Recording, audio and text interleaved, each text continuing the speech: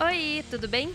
Eu vim aqui para falar do meu livro em quadrinhos Comédia Romântica Saga da Romilda, que vai ser lançado na Comic Con RS na Ubra de Canoas nos dias 4 e 5 de agosto. Esse é meu primeiro trabalho em quadrinhos publicado com protagonista original, porque os dois anteriores são considerados fanfics, já que eles se valem de personagens já existentes em outros universos.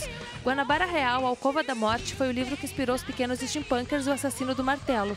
E como teria sido se Sirius Black tivesse criado Harry Potter, que é inspirado na série Harry Potter.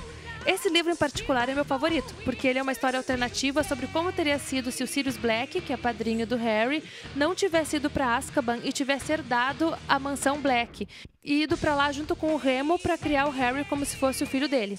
É uma história de comédia, é pura bobagem, mas não é um deboche, nem uma sátira. É, eu, eu gosto de pensar que é uma homenagem.